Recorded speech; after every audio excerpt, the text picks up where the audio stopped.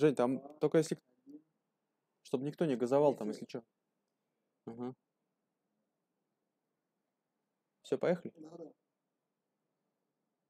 Ага. Друзья, всем привет. Как обычно, воскресенье в 7 часов э, выпуск. Жду ваших вопросов, которые мне будут пересылать сюда в, в Telegram. так, ну а я сегодня расскажу немножко, где находится наша компания. Значит, на сегодняшний день у нас продано 3,5% акций. Вот э, максимально возможного ре, э, объема реализации, а это не более 49%. 49% это потому, чтобы, чтобы 51% а, остался навсегда за мной, для того, чтобы я мог гарантировать те преференции, о которых я сейчас говорю, для акционеров, для наших. Поэтому я считаю, что мы очень-очень активно развиваемся. Ну, был план, ну, он очень был оптимистичный, э, по привлечению порядка 120 миллионов рублей за этот год. Но на сегодняшний день у нас э, привлечено уже э, 39,5 миллионов рублей. Э, в рассрочках порядка 17 миллионов рублей. Ну и учитывая то, что у нас очень нестабильно работали платежные системы, учитывая то, что мы по факту были отрезаны от иностранных зарубежных э, инвесторов, я считаю, что это очень э, хороший показатель. У нас до сих пор нет еще платежных систем, которые бы подходили для тех, э, кто из-за рубежа инвестирует. Вывод средств также недоступен. Конечно же, это очень большой объем а, потенциальных наших инвесторов, э, которые еще, для которых мы пока недостижимы, да, для тех, э, которые еще пока не могут проинвестировать в нашу компанию. Соответственно, решив эти все вопросы, мы получим достаточно высокий объем инвестиций уже в ближайшей перспективе. Это, то есть для этого у нас и предназначен рестарт э, компании.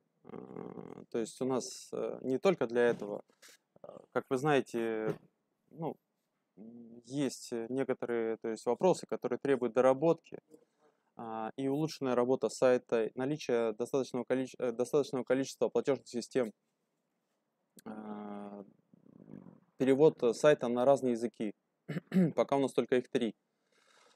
Вот, э, есть Индия, где нужен язык хинди, вот, э, поэтому очень часто получаю письма из-за рубежа о том, что нужно сделать вот это, сделать нужно то, и, соответственно, я всем говорю, что, ребята, давайте дождемся января, не торопитесь пока, а, не, не торопитесь э, развивать, э, активно продвигать, соответственно, потому что у нас еще много что будет доработано, и, соответственно, продвигать компанию вам будет намного-много проще, намного легче. Вот. А, в общем-то, движемся мы достаточно активно и, соответственно, по плану, по графику. Ну, дорожную карту слегка в связи с тем, что у нас не 120 миллионов, а 40, ну, в данный момент привлечено, мы слегка подредактируем, но это не проблема. Я думаю, что мы потом э, в будущем нагоним, а может быть даже и перегоним тот план график развития, который у нас на сегодняшний день есть. А, сто процентов уверен в том, что в 2020 году главные цели, а, а именно а, получение патентов во всех странах, где имеет смысл это сделать, процентов на 80 мы точно перекроем значит, э, этих стран, где есть смысл делать эти самые патенты. это план на 2020 год. И также посетим значит, соответствующие выставки, а, сейчас мы не будем а, размениваться, ну не то что размениваться, ну тратить время на выставки не очень значительные, не очень значимые, а, потому что все-таки это достаточно большое количество времени отнимает и достаточно большое количество ресурсов. Это требует перемещения макетов, доставка, сборка, личное присутствие на этих выставках и так далее. Постепенно у нас э, набирает э, обороты команда по продвижению проекта, вырабатываются скрипты по работе, э, по продвижению проекта в интернете.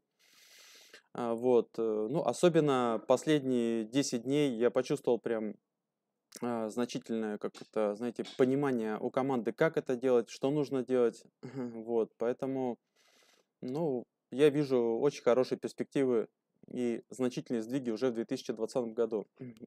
Также мы, естественно, сейчас э, потихоньку начинаем планировать мероприятия по запуску э, компании, то есть Ветер, то есть компанию Energy 2020, для тех, кто не знает, мы будем а, переименовывать а, в компанию Ветер. Ветер расшифровывается как Wind Energy Technology Era возобновляемый. То есть э, очень хорошее такое, я считаю, название, оно уникальное, его ни с чем не спутаешь.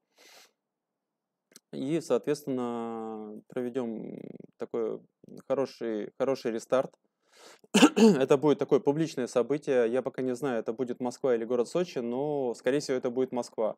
Я думаю, на данном мероприятии будет э, не менее 100 человек. Это будут, прежде всего, конечно, наши акционеры, а, где мы встретимся, где мы поговорим очно, а, ну и по бокалу шампанского 100% поднимем. Так, ну и, ребят, надо еще отметить, э, что а, мы сейчас э, попали в очень-очень интересный тренд. А, сейчас э, вы знаете, что идет очень большой тренд на зеленую энергетику, очень активно. Очень активно распространяются ветроэлектростанции вот такого типа. Ну, э, я думаю, большинство зрителей уже знает о том, что это очень сложное устройство. А, ну, в двух словах, э, на высоте 200, 120 метров у нас находится генератор массой 200 тонн и одна лопасть 207 тонн. Плюс есть еще у нас такое неблагоприятное а, воздействие на окружающую среду в виде инфразвука. Поэтому, друзья, э, я вижу очень хорошие перспективы развития ветроэнергетики с вертикальной осью. А, тогда, когда мы используем а, несколько зданий, 3, 4 или 5 зданий, или может быть даже чуть-чуть больше, с тем, чтобы с помощью них сконцентрировать этот самый воздушный поток, а, закрепить ветроэлектростанцию между этими самыми зданиями, установить аэродинамические щиты, которые позволят нам сделать ветроэлектростанцию а, бесшумной. Бесшумной я имею в виду, что этот шум не может приносить вреда или каких-либо помех для тех, кто обитает в этом здании, для тех, кто находится рядом с этим зданием. Ну и очень э, важный момент, который мне здесь больше всего нравится, это направление, возможность направить воздушный поток по тангенциальной линии к окружности ветроэлектростанции. это очень важный, существенный момент. Это эффект рычага. Все э, когда-то откручивали колесо автомобиля, и все знают, что если вы берете э, в руки трубу, надеваете на ключ, у вас появляется рычаг, и, соответственно, намного меньше требуется усилий для того, чтобы открутить самую самую такую гайку, а, тяжело закрученную. Так, а, сегодня у нас эфир на улице. Можно было сделать внутри офиса, но решили сделать его на улице. Не знаю, как пойдет дальше. Немножечко прохладно. Так. Угу. Ну еще, друзья, а, опять же, и вопрос, например, сколько нужно продать и чего нужно продать для того, чтобы окупить вложенные инвестиции инвесторов на сегодняшний день. Я напомню, что э, у нас есть патентное изобретение, э, и, соответственно, мы будем продавать лицензии по патенту. Лицензии по патенту это означает, что если кто-то захочет воспользоваться нашей технологией, то он должен будет, обязан будет просто приобрести э, лицензию на использование. Я считаю, что цена 5% от стоимости здания стоимость самой лицензии это не проблема для девелоперов, это очень э, такое интересное выгодное предложение. Так вот, э, друзья, если мы продаем лицензию там, для 100-метрового здания или там 200-метрового здания, то, как правило, такое здание стоит 100-150 миллионов долларов. Э, я говорю сейчас не про Россию, конечно же, это речь идет про Китай, а, про Объединенные Арабские Эмираты и другие развитые страны, Э, где уже давно привыкли к тому, что здания могут и должны быть, э, соответственно, высотными, потому что земля в городской инфраструктуре, она достаточно дорогая, поэтому мир не стоит на месте, здания, они, хотим мы того или не хотим, они, станов... высотные здания становятся абсолютно обычными, привычными нам зда... А, объектами. вот. Поэтому, поэтому если мы на сегодняшний день э, привлекли 40 э, миллионов рублей, ну, если с рассрочками это почти 60 миллионов рублей, то реализовав одну такую лицензию, а, соответственно, будет выручка компании порядка 5 миллионов долларов. Соответственно, мы можем, э, конечно же, уже нашим инвесторам выплатить не только их вложенные денежные средства, но и уже э, с прибылью, сделать это с прибылью. Но наша задача продать не одну лицензию, наша задача продавать эти лицензии поначалу десятками, потом сотнями, а может быть 2027-2028 и тысячами штук. как бы это ни казалось э, такой ну, недостижимой, может быть, для кого-то целью, я считаю, что это вполне достижимо. Можно вспомнить, э, как э, быстро состоялся переход от лошади к автомобилю. А, вот, хотя особо никто не верил в то, что автомобиль это интереснее, чем лошадь. Ну, сами понимаете, сейчас все ездят на автомобиле. Этот переход произошел ну, буквально за какие-то, за каких-то 10 лет. За каких-то 10 лет, но не забывайте, что мир в тот момент, он развивался намного более медленно, и сам по себе автомобиль э, на тот момент это было куда более сложное, куда более сложное устройство, чем, э, соответственно, э, здание, э, где представлены достаточно простые вещи, э, которые, э, ветроэлектростанции, они еще работали до нашей эры в Древнем Египте и делали ту работу, которую могли бы делать люди, но э, египтяне додумались сделать, а, делать так, чтобы эту работу делал ветер. так. ну и еще, друзья, у нас э, на самом деле патент э, есть один, базовый. А, он такой очень простой, его нереально обойти. А, можете с ним ознакомиться. Соответственно, но у нас также есть еще пул патентов и есть еще заявки на получение патентов э, в будущем.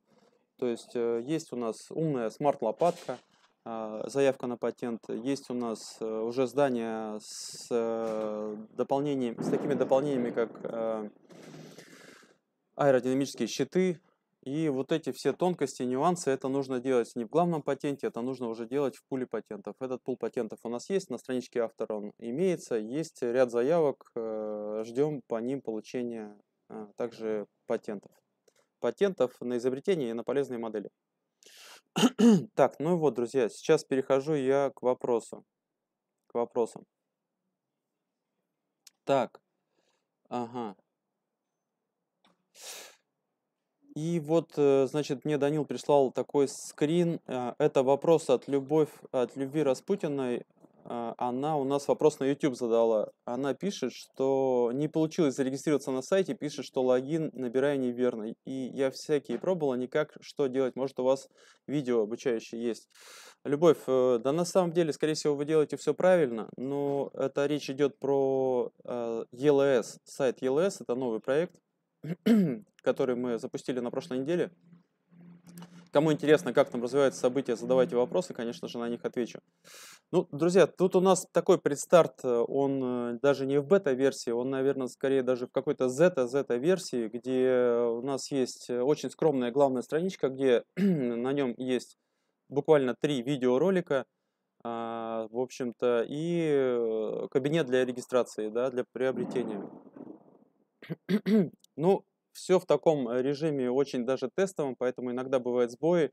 И более того, э, ну, звонков с тем, что человек не может зарегистрироваться и, или, или оплатить, э, получил я достаточно много, порядка, наверное, 15, да. А, ну, для такого этапа развития я считаю, что это достаточно большое количество. А, в общем, кто-то до сих пор так и не получилось зарегистрироваться, купить то там э, регистры какие-то, то нижние используйте, то верхние. То есть, ну, команда айтишников, она работает, э, вопросами этим занимается, достаточно оперативно мы их устраняем. В принципе, кто очень настойчиво хотел зарегистрироваться, кто очень настойчиво хотел проплатить, а такие были, которые в покое этот вопрос не оставляли даже более чем двое суток и писали по несколько десятков сообщений, как у них на эту тему продвигаются дела. И все-таки они зарегистрировались и приобрели, да, приобрели э, эти самые акции. Так, ага. поэтому, э, Любовь, давайте так договоримся, если у вас до сих пор, до настоящего момента не э, получилось зарегистрироваться, на страничке автор есть э, мой личный телефон, Telegram, WhatsApp всегда в доступе, в любое время суток пишите, если мне неудобно, то у меня звук выключен, Поэтому как только будет удобно, соответственно, я получу от вас сообщение, и этот вопрос мы решим, конечно же, положительно. Так, Денис Черненко спрашивает. Привет, Денис, очень рад тебя снова слышать. Подскажи, с чем связан такой резкий рост акций? А, Денис, ну на самом деле никакого резкого роста здесь я не вижу. А, я думаю, до конца года у нас э, еще значительная прибавка будет. Но и, Денис, в условиях рыночной экономики спрос определяет, э, соответственно, стоимость. И поэтому тот спрос, который на сегодняшний день есть, это тот прогноз, э, который можно составить с учетом э, расширения а, сведений о том, что такая компания существует, о том, что в нее можно инвестировать. Ну, постоянно наблюдается приток э, новых регистраций, новых инвестиций, и все время это растет. Поэтому это нормально, это справедливо достаточно. Относительно той стоимости, которая ожидается к 2023 году, этот рост, он, э, можно считать, что он совершенно даже не великий и никакой даже не резкий. Вот. Ну, наверное, так. Если не ответил на вопрос, э, по вашему мнению, то задайте еще раз. Так, Олег э, Джадиев пишет. Привет, два вопроса. Есть ли расчеты по возможной вибрации и 40% на рефералку немного ли? Олег, ну здесь по поводу вибраций. Вибрациям здесь браться неоткуда. А, дело в том, что сама по себе ветроэлектростанция, она вращается со скоростью 3-5 оборотов, мет, э, то есть оборотов в минуту. А, поэтому возьмите любой объект, я не знаю, там колесо автомобиля, повесьте на него кирпич там, да, на какую-то одну сторону, вращайте его со скоростью 3-5 оборотов в минуту, и никакого дисбаланса вы не почувствуете. То есть это с учетом того, что ну, как бы здесь, конечно, очень сильно нарушено а, а, то, тот момент нарушен, что а, эта вибрация, она будет, конечно же, чувствоваться там при оборотах 20, э, 20 э, оборотов в минуту, то есть если кирпич вы прикрутите, да. Поэтому вибрациям, вибрации, ну, как-то вот, как вам сказать, сравнить, да, то есть, ну, э, не знаю, там парусное судно, парусное судно, какое бы оно ни было большое или маленькое, вибрации на парусе их там не бывает. А, если танк вы сбрасываете с парашюта или человека, то эти все эффекты, они тоже одинаковые, там тоже отсутствует вибрации. А вот если электрический мотор вращается с большой скоростью, там, а, куда больше, чем там, 5 оборотов в минуту, там, то тогда там уже, конечно, возможны вибрации, да. Так, ну а по поводу 40% э, на реферальную систему, ну, а, Олег, э, ну, я не скажу, что такой есть огромный ажиотаж а, тех людей, которые хотят и могут э, работать по реферальной системе. А, Coca-Cola, она, по-моему, 60% оплачивает на рекламу, а мы платим 40% на рекламу. Я думаю, для, для стартапа это не великие.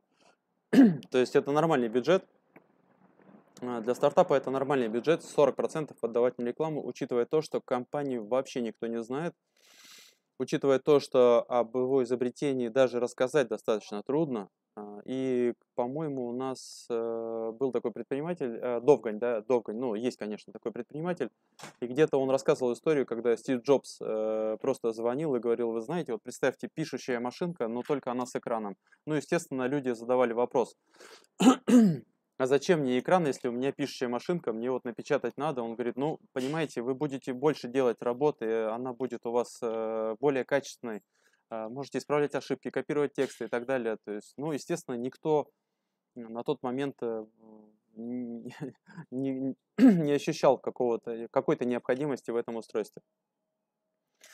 Поэтому 40% на рекламу, я считаю, это нормальная сумма. Вот. Ну, если будет возможность у компании позволить себе снизить расходы на рекламу, а, то, ну, наверное, будем на эту тему думать. Но пока не приходится. Так, и еще вопрос. Значит, Денис, привет. Ренат Закиров спрашивает, если компания зарегистрировалась за рубежом, когда заработает Advance Cash? А, да, Ренат, смотрите, компанию за рубежом зарегистрировали, но теперь нужно открыть а, счет. А, открыть счет, э, это будет иностранный банк. ну и, соответственно, этот банк, он, конечно же, будет задавать вопрос, что за род деятельности у вашей компании. Ну, знаете, если бы я был гражданином Англии, да, наверное, то, наверное, это быстро бы этот вопрос мы могли бы решить. Или если бы я был гражданином США, где ICO достаточно, рынок ICO достаточно хорошо развит и доступен для граждан США, то как бы проблем не было. А учитывая то, что совсем система не готова к раунд-инвестинговым проектам, э, и те, кто анализирует эту деятельность, и они находятся достаточно далеко, то есть все диалоги с ними проходят заочно. Ну, сейчас я думаю, как э, сделать так, чтобы меньше всего вопросов у них вызывало э, то, что, что, что, за, что у нас как бы, что у нас вообще происходит, понимаете? Потому что заочно разобраться в этом почти нереально. да, но я вообще э, планирую Advanced Cash с января, с января до на самом деле, э, не очень, ну, можно было бы его запустить и прямо сейчас, но не знаю, насколько долго бы он проработал это, во-первых. Во-вторых, во-вторых, э, еще нарочно я не хочу это делать, потому что я, я хочу, чтобы те ребята, которые за рубежом находятся и которые хотят развивать проект, чтобы они в нем разобрались хорошенько. И сейчас такие уже есть, и это Вьетнам, и это Индия, да, и это из Италии ребята, которые, ну, как раз просят и Advanced Cash в том числе, и еще некоторые вещи, и перевод сайта на их язык.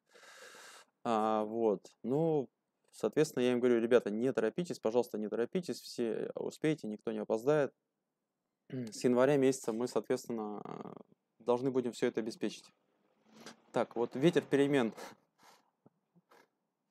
пишет нам. А, Денис, привет. Сколько пакетов по транспортно-логистической системе уже продано? Ну, на сегодняшний день продано 24 пакета по 100 тысяч рублей.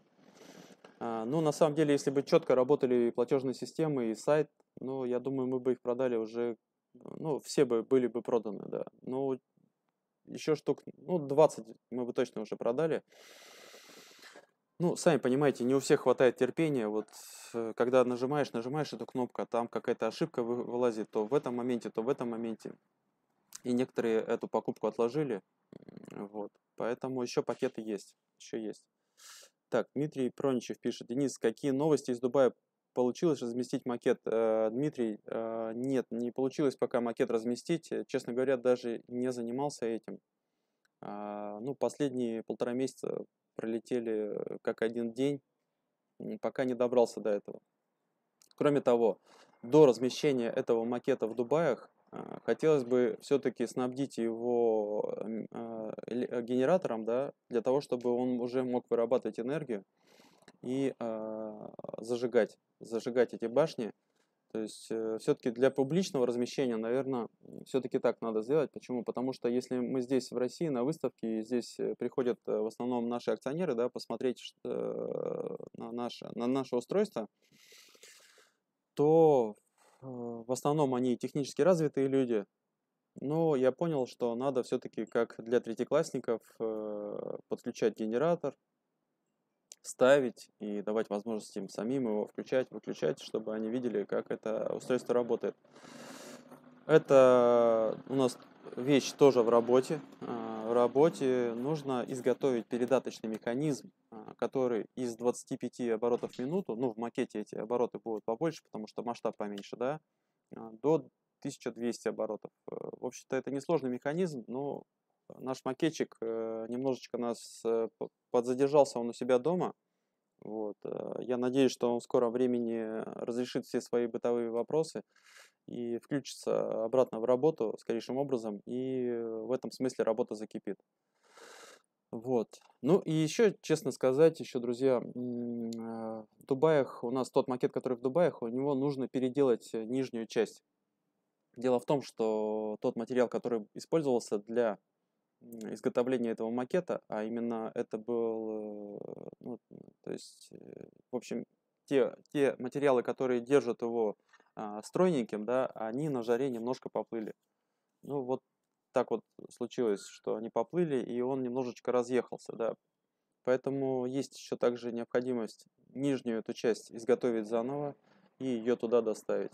И на самом деле ничего плохого в этом нет, потому что изготовим мы эту нижнюю часть здесь, встроим туда передаточный механизм, а, встроим туда же генератор и уже комплексом его туда доставим. А, я думаю, это нормальный вариант. Потому что, сами понимаете, в Дубаях искать токарей, а, материалы и пытаться им объяснить, что нам нужно сделать, и сделать это за те же деньги, что на территории Российской Федерации, ну, наверное, почти нереально. Так, Стас Ганатук спрашивает. Приветствую, Денис. Скажи, когда двинемся в сторону Китая, стоит ожидать в 2020 году? Ну, я думаю, что выставку нам в Китае нужно тоже какую-то посетить. Но э, посмотрим по стоимости, сколько это, было, сколько это будет стоить. Ну, в Южной Корее посетить выставку мы считали, с учетом доставки макета туда и обратно и оплаты за саму выставку, это миллион четыреста рублей. Ну и мы подумали, что лучше мы доставим макет в Дубай, и мы сделали это, доставили макет в Дубай, который нам понадобится на выставке Экспо 2020. Ну, небольшие работы по реконструкции его мы проведем. Будет у нас он крас... э, стройненький и работоспособный. Ну, крас... красивый, сами видели, что он очень красивый. В общем, э, те ребята, которые разгружали его, там, перевозили, да, то есть это ну, из жителей Пакистана, а, то есть те, кто там а, на разные работы выполняет, самих Дубаев, я не видел ни одного, который бы не захотел с ним сделать селфи. На самом деле макет очень красивый, но надо его доработать. Так, Дмитрий Проничев. Саудовская Аравия начала грандиозный проект по привлечению туристов, постройке новых зданий и многое другое. Были мысли выйти на их рынок? да, Дмитрий, э, конечно же, мысли такие есть. Э, нужно э, все-таки вот этот 3,5 метра макет нам ну, доделать, достроить, да. И я думаю, просто устроить такой тур до выставки Экспо 2020 у нас достаточно много времени есть. Устроить тур это как раз посетить все э, Эмираты, посетить Эмираты, посетить э, потенциальных наших заказчиков и, соответственно, показывать, рекламировать этот объект.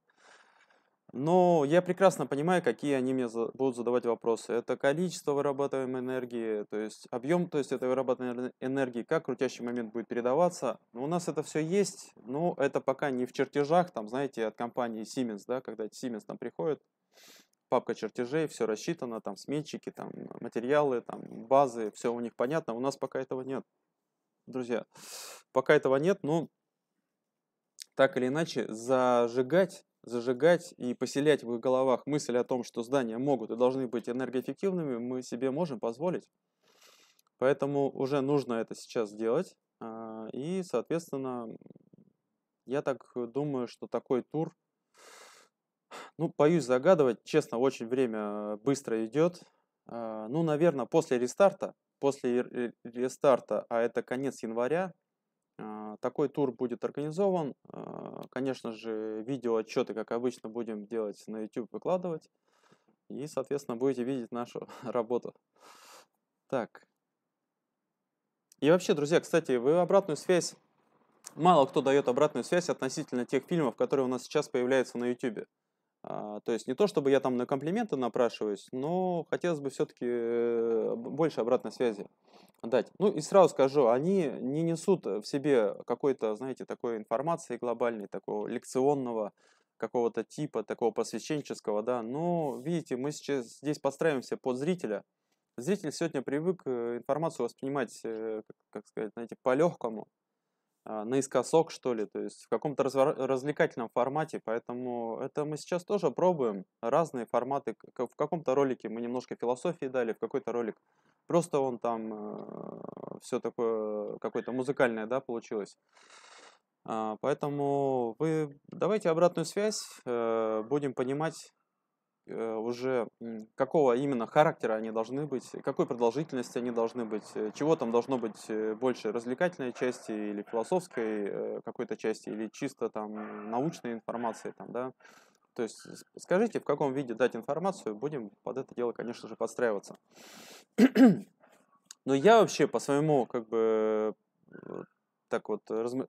свои, мои размышления на эту тему такие, что такой ролик вы можете отправить другу, а, вот. Он никакой не тяжелый, он легенький. Он по-легкому посмотрел и вам же задал вопрос, а что же это за люди, что это за компания, что они вообще делают. Ну и в конечном счете он приходит, то есть у него накапливается какой-то список вопросов, он приходит на прямой эфир, а, и, как ему кажется, там самые серьезные вопросы он здесь в прямом эфире задает и получает ответ, э, соответственно, от меня.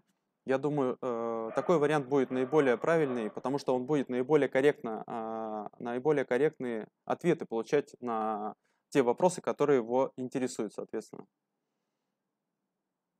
Так, что у нас дальше? А, Гамза Дадуев пишет, в Дубае тоже строится новый город современный.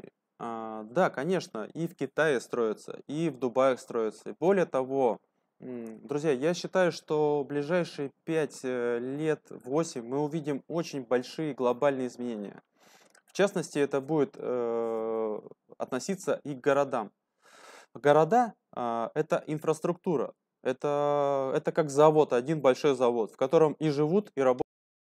Так вот, э, в каком, соответственно, э, то есть э, сама инфраструктура, сама логистика такого предприятия, она оказывает большое, большое влияние на стоимость, на себестоимость продукции, которую выпускает это предприятие. Ну, а здесь продукция у нас и услуги, и товары, и, и так далее, так далее. Да? Все больше сейчас государств будет задуматься о том, что логистика в этих городах, э, там скорость перемещения, а, качество жизни людей в этих городах, это все играет огромное значение. Поэтому а, мы сейчас видим, что многие ищут решения этим вопросам. Там, загазованность, э, пробки, э, перемещение в городах. Вот в частности есть такой проект в Америке, где собираются строить подземные там для того, чтобы автомобиль мог туда спускаться и на тележке передвигаться. То есть, ну,